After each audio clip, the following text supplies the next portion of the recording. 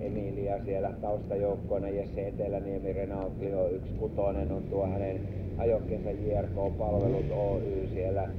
Virtaan rakennuspalvelu, Virtaan varaosa, R-asennus, Uponor, voitto.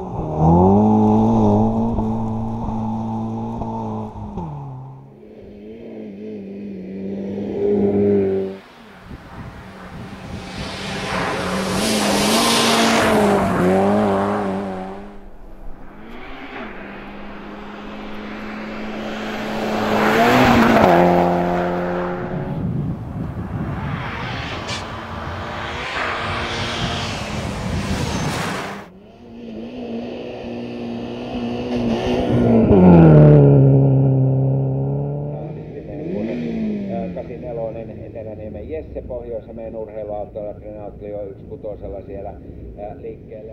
Is it so?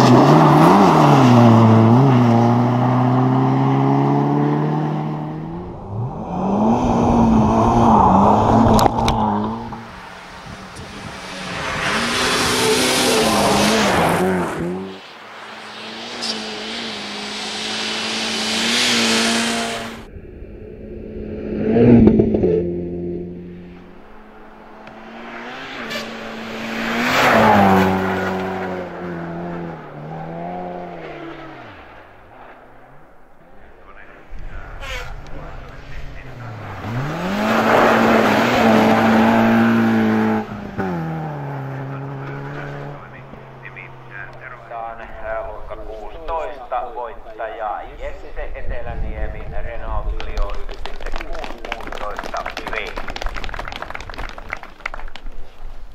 Ja kakkonen Markus Mäkitalo ja Ford